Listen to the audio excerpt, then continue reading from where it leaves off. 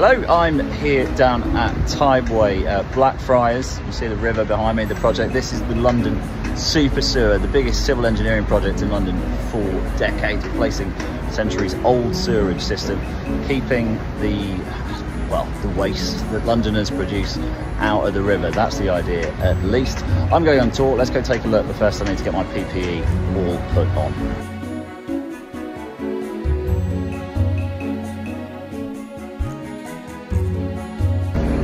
Right, well, I'm staring into the but behind me you can see uh, a lion. That's a listed lion that run all the way along the Thames. And when the water and the river hits the lion's mouth, when the lion's drinking, London's sinking.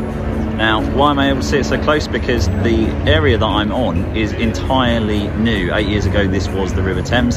Uh, now, underneath me, of course, is the, the super sewer. But what they're building on top is this huge public park, about one, as I say, one and a half acres, um, with uh, with designs from various artists that'll open it up uh, to the public. Exciting stuff. So just behind me here is uh, the dam that was installed so that all the work we've just seen could actually be done. So obviously you don't need the river coming into that work, that the river needs to be kept away.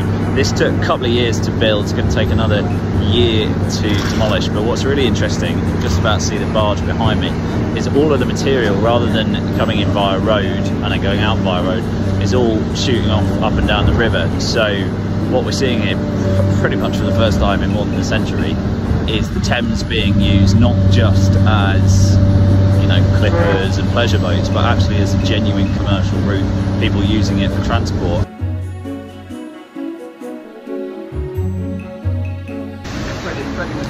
Right, behind me is the problem. So this is a flat, an original flat, which flows into the Thames approximately 60 times a year when the sewage system is overloaded. That equates to about half a million tonnes of raw sewage flowing into the Thames. As I say, 60 times a year. You can see behind me that gate at the bottom there is what opens up flows into the river. We're under Blackfriars Bridge, as I say. Now, the project is going to reduce that to probably two or three times a year, really biblical storm stuff.